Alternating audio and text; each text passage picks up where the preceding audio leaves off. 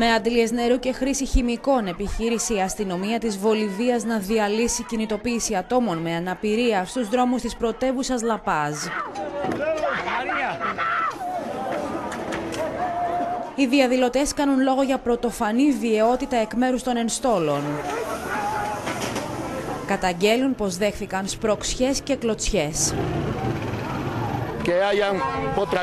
Υπάρχουν πάλι τραυματίες ανάμεσα στους ανάπηρους που συμμετείχαν στη διαδήλωση. Μας έριξαν επανειλημμένα χημικά. Αυτή τη φορά είναι φωνικά και μου τα ψέκασαν στο πρόσωπο.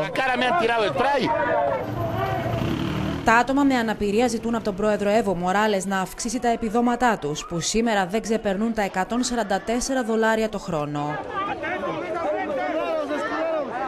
Η κυβέρνηση έχει απορρίψει το αίτημα.